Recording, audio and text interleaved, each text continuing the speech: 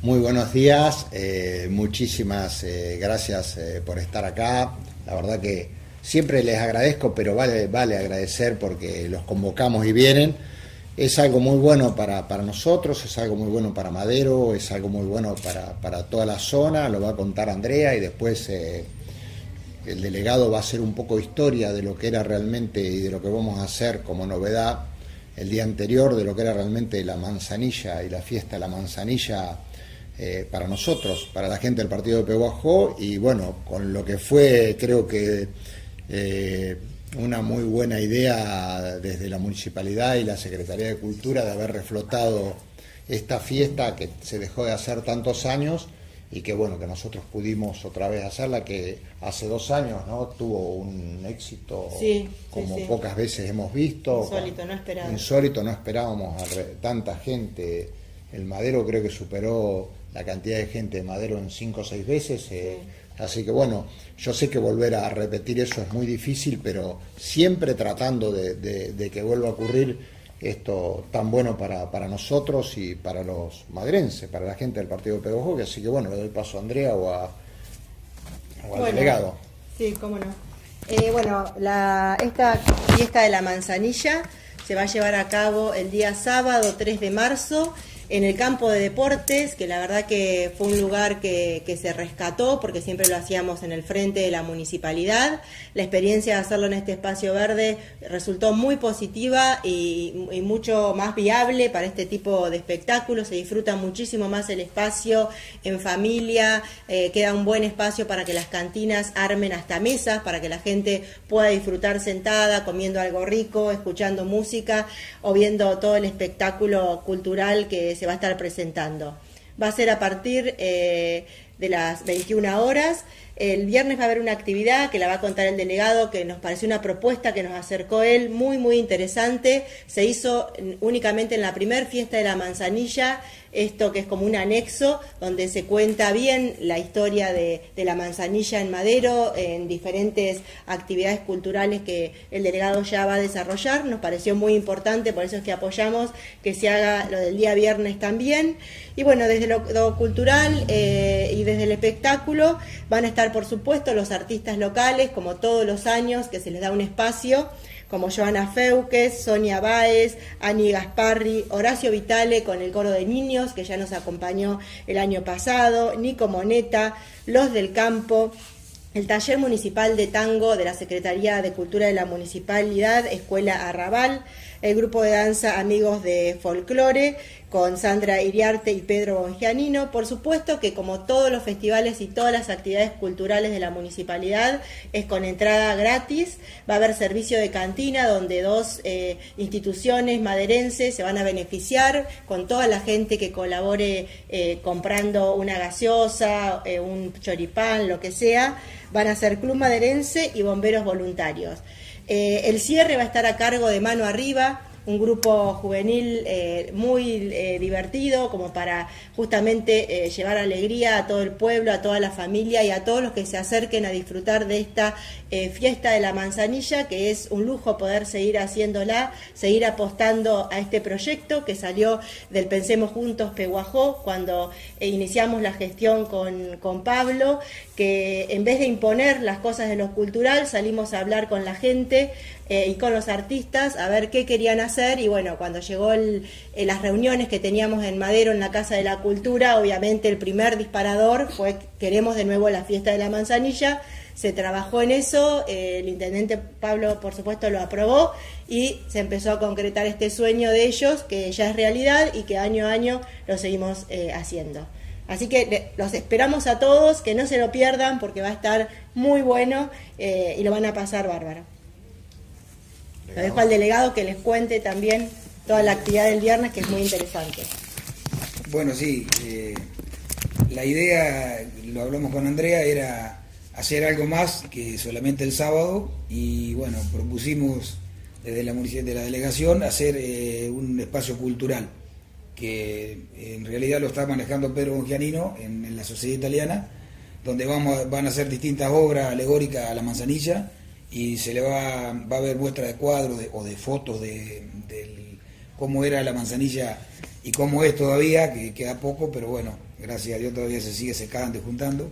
Y eh, vamos a hacer una entrega a todos los manzanilleros, que le vamos a mandar una invitación, pero por ahí algunos que se nos pasa, que no creo, eh, están invitados, le vamos a dar un reconocimiento que no sé si se le habrá dado en algún momento, a algunos ya no están, pero los familiares eh, se van a ver este, beneficiados con ese reconocimiento en el transcurso de la velada que va a ser a partir de las 21 y 30, 22, en dos horas de duración, donde se va a hacer, este, bueno, va a haber eh, algunos cantores, eh, música, va a haber obras de teatro y la entrega de certificados más la muestra de fotos. O sea que la idea es hacerlo en dos etapas.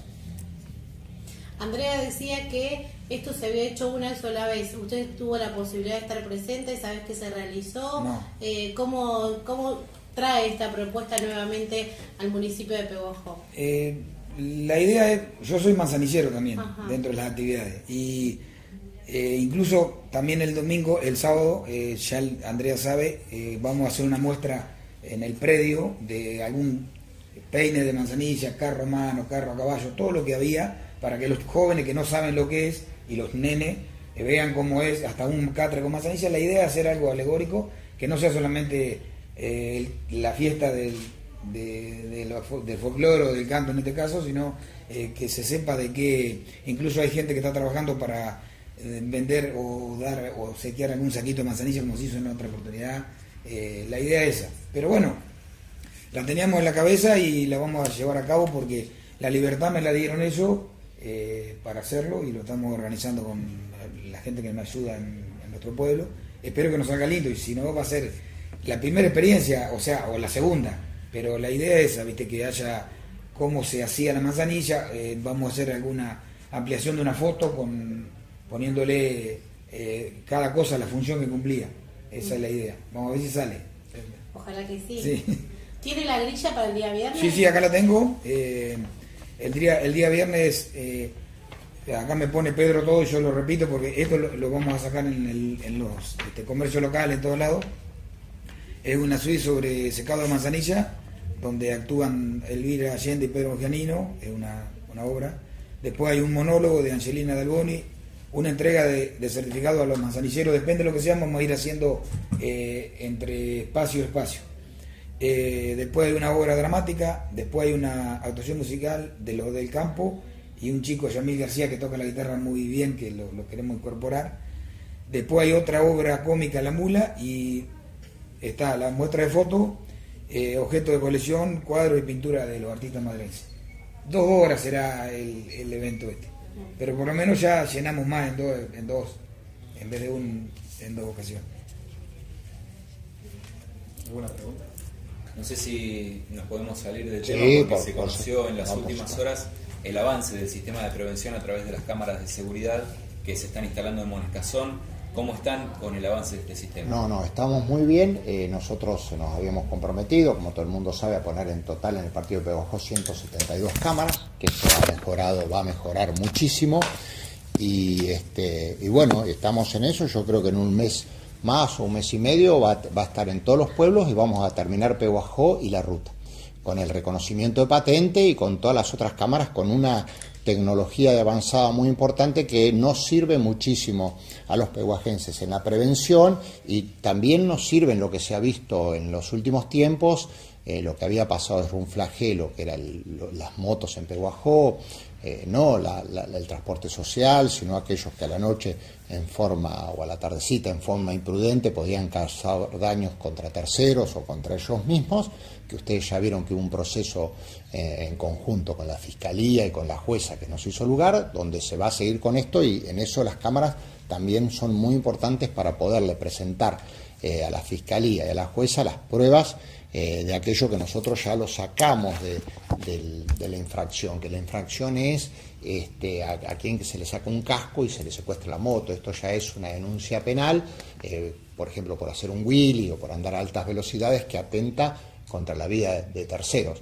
Eh, creo que para Peguajó y, cuando digo Peguajó, digo el partido de Peguajó, 172 cámaras con un centro de monitoreo que le voy a decir al secretario de Seguridad que, los invite a todos en, un tiempo, porque va a venir también el fiscal Rubio de Trenquelauquen a verlo, porque como creo que es uno de los mejores de la zona y van a estar todos invitados eh, para que la comunidad se pueda, lo pueda ver a través de ustedes. Creo que es un avance importantísimo para, para los peruanos. Ahora están trabajando en Monescazón, ¿cómo siguen los trabajos? Después van a seguir en distintos pueblos eh, y después vamos a seguir con las de reconocimiento de patente y vamos a seguir con, la de la ruta. Aproximadamente faltan colocar unas 50 cámaras, pero va muy avanzado el trabajo y lo estamos haciendo todos los días a través de la empresa que se contrató y a través de, los electricistas municipales y a través del trabajo de las delegaciones que se les fue indicando cómo poner los postes. Eso es un trabajo en conjunto que, bueno, que te vuelvo a repetir, eh, van a estar invitados y el centro monitoreo ha quedado muy bueno, está muy bien organizado y es algo que los peguajenses a través de ustedes tendrían que conocerlo más porque también por ahí es, es porque nosotros no lo hemos publicitado mucho, eh, va a quedar muy bien y es algo eh, que lo considero muy importante. Me parece que de tener 22 cámaras o tener 20 como teníamos a tener 172, hay un antes y un después en la prevención y en todo lo que hace al control de la gente que entra a Peguajó, del reconocimiento de patentes y de otras cosas que pueden servir en la prevención de, los delitos que se cometen. ¿Se espera tener todo el sistema listo para este año? No, no, se espera tener todo el sistema listo, en un mes y medio, dos meses va a estar todo el sistema listo. Sí, sí, sí, sí, mucho, eh, eh, creo que rápido y, bueno. Y, Siempre, a veces las cosas salen bien y a, veces las cosas salen mal, pero creo que es un área que se ha organizado muy bien, que si bien eh, no, nos faltan algunas cosas en inspectorías, que ahora vamos a dividir eh, distintos inspectores de acuerdo al, lugar, por ejemplo, servicio va a tener sus inspectores, comercio va a tener sus inspectores, para no nuclear en un solo lugar todos los inspectores, sí dependiendo del secretario de seguridad, y en esto también incluye lo de las cámaras, que, que bueno, que la verdad que nos costó, nos costó muchísimo, pero bueno, es, yo ya digo que ya no es un costo, que es una inversión para que los peguajenses estén mucho mejor. ¿Esta división hace que se amplíe la cantidad de inspectores en la ciudad? Esta división va a hacer que se amplíe. Esto sí va a tardar, no, más o menos el mismo tiempo. Va, sí, sí, va a haber eh, inspectores en distintas áreas y inspectores idóneos en las áreas, porque nos estaba pasando que a veces un inspector que va a comercio, un inspector que hace otro tipo de funciones, no puede poder cumplir con, otros temas. Por eso estamos preparando gente a través de la Secretaría para que sea idóneo en las distintas materias que le toca inspeccionar, los distintos temas que le toca inspeccionar. ¿Quieren repetir una invitación al festival? Sí, como no, por supuesto que están todos invitados el sábado 3 de marzo a partir de las 17 horas en el campo de deportes de Madero a disfrutar de esta eh, fiesta de la manzanilla que que va a estar muy, muy interesante, con cosas ricas para comer. Eh, hoy no dijimos de los artesanos ni los microemprendedores, que por supuesto va a estar ese paseo que se organiza todo en la calle lateral y que es muy lindo eh, poder recorrerlo, más todos los artistas que van a estar presentes en el escenario eh, para que disfrute todo el público que se acerque allí. Tengo dos más, una para cada uno. Eh, para Andrea, eh, bueno, contanos un poquito eh, qué tipo de música es mano arriba para aquellos que no lo conocen. Cómo no. bueno, es del estilo de Agapornis, que ya tuvimos la posibilidad de, tenerlo, donde hacen un poco de cumbia moderna, no sé si es así el nombre técnico o específico de lo musical, pero son chicos muy jóvenes que hacen este tipo de música que es para toda la familia por ahí los que más lo conocen son los adolescentes. Nosotros hicimos como un testeo entre... Claro, eh, yo me tuve que poner a escucharlo realmente y me, gustó mucho, me pareció una linda propuesta y una alternativa eh, para poder llevar la fiesta de la manzanilla para que todo el mundo disfrute, por supuesto. Para el intendente que nos da la posibilidad de por ahí salir del tema de la conferencia, ¿se viene la segunda entrega de las casas? ¿Ya se sabe más o menos eh, la fecha? Eh, aproximada, 15 o 20 días se viene la segunda entrega de las casas, que serían en este haber alrededor de 60, para ya fines de marzo terminar con, las 220. Estamos muy cerca, eh, bueno, se, está, se, está, se volvió a pedir los certificados de dominio sobre... Esto está muy buena tu pregunta, porque para la gente la entiende. A veces la gente pregunta por qué no perdimos el certificado de dominio sobre 2.400 personas. Y no pedimos el certificado de dominio sobre 2.400 personas porque un certificado de dominio, de acuerdo a como lo pida, sale en 450 o 800 pesos. Nosotros pedimos certificado de dominio, por eso a veces desadjudicamos sobre quién se lo saca. Pedimos sobre 110 primero, que íbamos a entregar y desadjudicamos 5. Y ahora pedimos sobre otros 110. Es posible, con un cálculo matemático, que haya otros 5 si nosotros tomamos que de los 110. O es posible que no. En caso, como ya lo hemos comunicado, creo que ese día lo comunicó Abelino en el parque, en caso en que haya 5 desadjudicados, ya viendo que hemos hemos cubierto el cupo de los eh, suplentes, va a ser un sorteo por Lotería Nacional, porque no podemos convocar otras 2.000 personas para, para cinco. Pero, con los mismos números que ya tenían. Con los mismos números que ya tenían, publicamos los edictos, publicamos en el diario, eh, tal día, no sé, poner el 27 de, de, la por Lotería Nacional, un sábado, y ahí, ahí van a estar las supuestas nuevas desadjudicaciones. En el caso de que haya En el caso que haya, por un cálculo matemático yo te diría que va a haber desadjudicaciones. Y por eso cuando la gente viene y dice, ¿por qué no las pidieron antes? En realidad el que está incumpliendo, si es que tiene un terreno, es la gente que se anotó. No las pedimos antes para tener un ahorro de la municipalidad, para no pedir sobre 2.400 y sí para pedir por quién se lo salieron a adjudicar. Bueno, muchas gracias. Bueno, gracias.